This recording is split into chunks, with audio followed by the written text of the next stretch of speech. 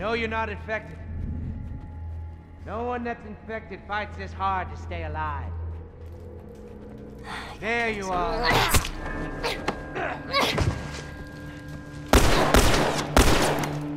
That was good, kid.